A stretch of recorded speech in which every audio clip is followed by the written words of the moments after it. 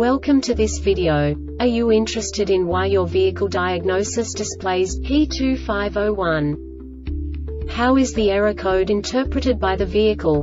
What does P2501 mean, or how to correct this fault?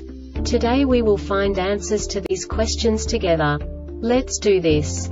First, let's look at the history of diagnostic fault code composition according to the OBD2 protocol, which is unified for all automakers since 2000. We divide the electric system of automobile into the four basic units. Powertrain, body, chassis, network. This distribution is defined in the first character code. If the second character is expressed as zero, it is a standardized error. In the case of numbers 1, 2, 3 it is a more prestigious expression of the car-specific error. The third character specifies a subset of errors. The distribution shown is valid only for the standardized DTC code. Only the last two characters define the specific fault of the group.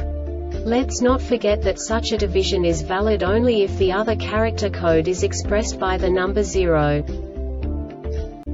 Our website airbagreset.sk produces useful videos for you. You do not have to go through the OBD2 protocol anymore to know how to troubleshoot any car breakdown. You will find all the diagnostic codes that can be diagnosed in a Hyundai vehicles. Also many other useful things. The following demonstration will help you look into the world of software for car control units. You unbelievably can move the video a bit further. The error code is split into two bytes consisting of 16 bits. One bit is the basic unit that each computer works with. The bit has two logical states. 0, low level, 1, high level. By combining the first two bits, the basic character of the error code is expressed. The next two bits again determine the second character. The last beat styles of the first byte define the third character of the code. The second byte is composed of a combination of 8 bits. The first 4 bits determine the fourth character of the code. And the combination of the last 4 bits defines the fifth character. A single byte conceals 256 possible combinations. We now know in what way the diagnostic tool translates the received information into a more comprehensible format. The number itself does not make sense to us if we cannot assign information about it to what it actually expresses.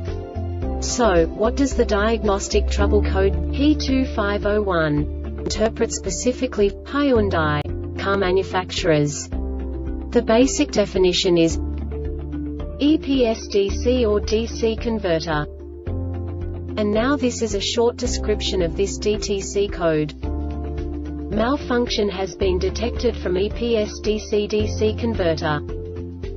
This diagnostic error occurs most often in these cases. EPS-DC or DC converter HV ECU harness or connector EPS control unit.